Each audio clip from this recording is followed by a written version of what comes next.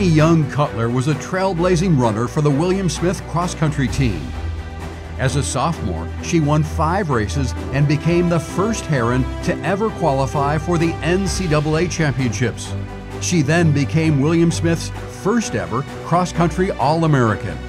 In her final year of competition, she won six more races and again qualified for the NCAA championships. Between 1999 and 2001, she won 13 races at William Smith. And she was a three time Sharon Peckham Best 62 Most Valuable Cross Country Award winner. Young Cutler graduated in 2003.